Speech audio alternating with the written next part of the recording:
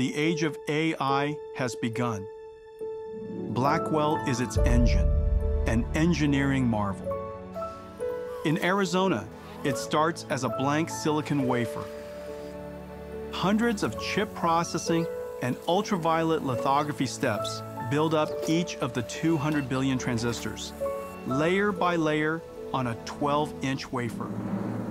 In Indiana, HBM stacks will be assembled in parallel. HBM memory dies with 1,024 IOs are fabricated using advanced EUV technology. Through silicon via is used in the backend to connect 12 stacks of HBM memory and base die to produce HBM. Meanwhile, the wafer is scribed into individual Blackwell die, tested and sorted, separating the good dies to move forward.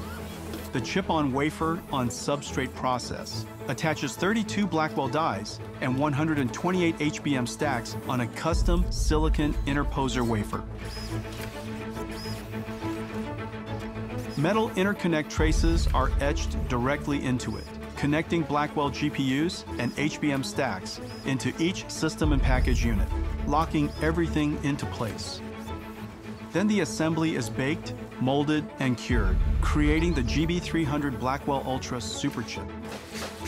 In Texas, robots will work around the clock to pick and place over 10,000 components onto the Grace Blackwell PCB. In California, ConnectX-8 SuperNICs for scale-out communications, and BlueField-3 DPUs for offloading and accelerating networking, storage, and security are carefully assembled into GB300 compute trays.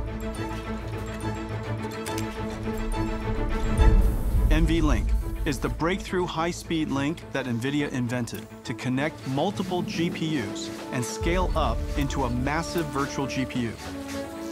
The NVLink switch tray is constructed with NVLink switch chips, providing 14.4 terabytes per second of all-to-all bandwidth. NVLink spines form a custom blind-mated backplane with 5,000 copper cables connecting all 72 Blackwells, or 144 GPU dies, into one giant GPU, delivering 130 terabytes per second of all-to-all bandwidth, nearly the global internet's peak traffic. Skilled technicians assemble each of these parts into a rack-scale AI supercomputer. In total, 1.2 million components, 2 miles of copper cable, 130 trillion transistors, weighing nearly 2 tons.